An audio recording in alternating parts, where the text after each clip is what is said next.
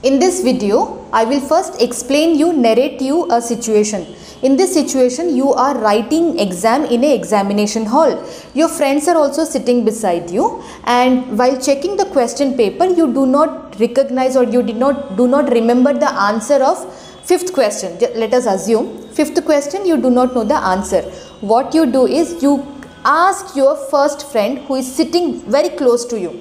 You ask your friend and you call your friend and you ask her or him to show the fifth question answer because you don't know. Your friend somehow he or she ignores you. Now immediately what you do is you search for your second friend and if any friend is sitting beside you, you call that second friend and ask her or him to show the fifth question answer because you don't know. This kind of situation has happened with you also, right? Now in this situation what happened is your first friend you expected you asked your first first friend you expected some result from your first friend right?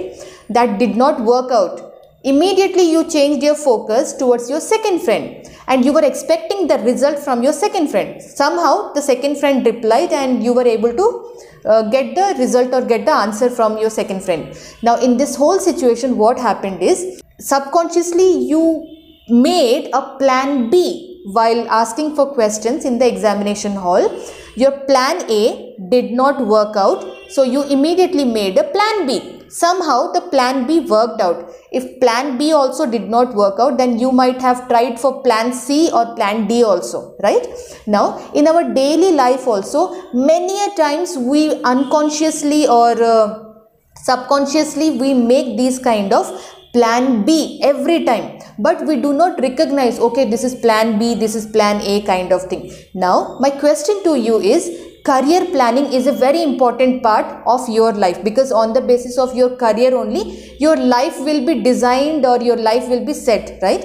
Now for career planning why don't we make a plan b also? Always everybody will have a plan a only. Everybody will have a goal that if i'm learning full stack development i want a full stack development job. So this is plan a. When you have a plan a you should definitely have a plan b also now, many of people, many of you may ask, Madam, why plan B is required when we have plan A, right? Now, if you have a plan B, you will not waste time. Why I am telling you this, I will give you an example. Many of your friends or you have heard this kind of situations.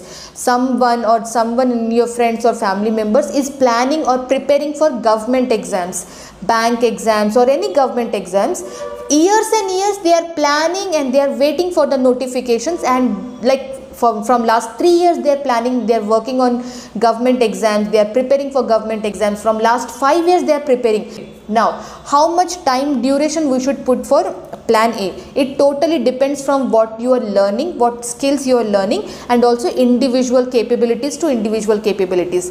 If you are learning full stack development usually usually full stack development training course will be around 3 months to 6 months. Let us assume 6 months. Now 6 months will be your training period put another 6 months for job trials for interviews. So all total can we say one year for your full stack development goal? So one year will become your plan a. If you're not getting placed within one year then definitely you have to move or you have to change. You should you should plan about you should activate your plan b also. All this planning you have to write down in a notepad or a list or a document somewhere. But if you write down the dates i mean to say before 31st december i have to get job in my plan a or my primary skills that will put pressure on you. You will be working more aggressively to fulfill your plan a. If that doesn't work within one year then definitely go for plan b. Now this one year i gave you an example but this one year also depends on what uh, technology software skills you are learning and your capabilities also. Few people learn skills very fast few people still learn skills slow. So it totally depends on individual capabilities also now that is what uh, I made this video for. In this video I have explained you why you should plan your career, why you should make plan A and plan B also. Definitely it should be there in your career planning uh, career planning uh, thing. So if you like this video definitely click the like button and share this video with your friends also. You definitely don't want many of your friends to uh, waste time. You don't want them to waste their time right. So share this video with your friends on WhatsApp WhatsApp groups, Telegram groups, Facebook groups and Instagram also. And if you have any questions, you can definitely put in the comment section of this video. Only what video viewers, please subscribe. Your subscribes will definitely help me. Click the bell icon for daily notifications. I am creating videos every day. Thank you so much. My name is Sushmita and this is my English YouTube channel, Sushmita Madhu. Namaste.